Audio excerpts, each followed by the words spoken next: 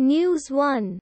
Don't believe third. Fourth front can challenge BJP. Prashant Kishor to NDTV. News 2.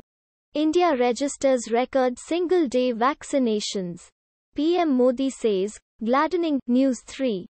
Mamata Banerjee moves Supreme Court against order on filing affidavits in Narada case. News 4.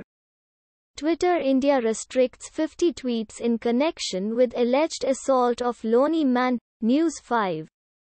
Who is Amarinder Singh? Navjot Singh Sidhu amid Punjab Congress in fighting. News 6. Karnataka High Level Body recommends reopening of schools in staggered manner. News 7. Esther Duflo. Raghuram Rajan. Arvind Subramanian in Economic Advisory Council to Tamil Nadu CM. News 8. All is well with alliance. Says Shiv Sena Sanjay Raut amid rumors of patch up with BJP.